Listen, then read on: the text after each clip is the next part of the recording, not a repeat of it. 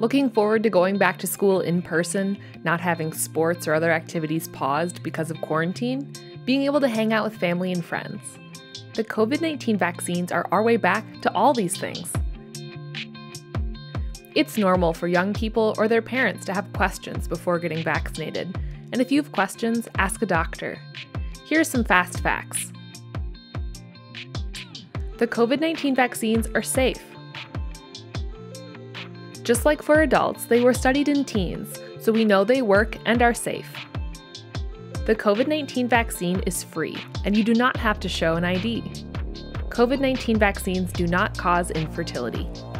No one likes shots, but there are things you can do to help relax. Listen to your favorite music with headphones. Take slow, deep breaths. Make eye contact with a supportive person. Focus on something in the room, like trying to read the fine print of a poster. Distract yourself. Try to wiggle just your big toe.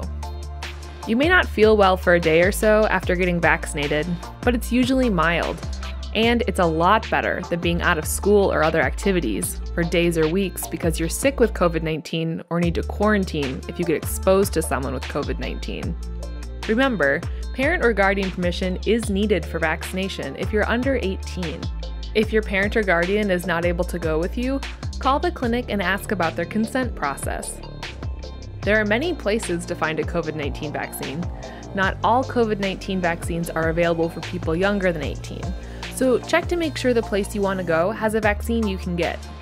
You can also search for locations near you and sort by types of vaccines at www.vaccine.gov.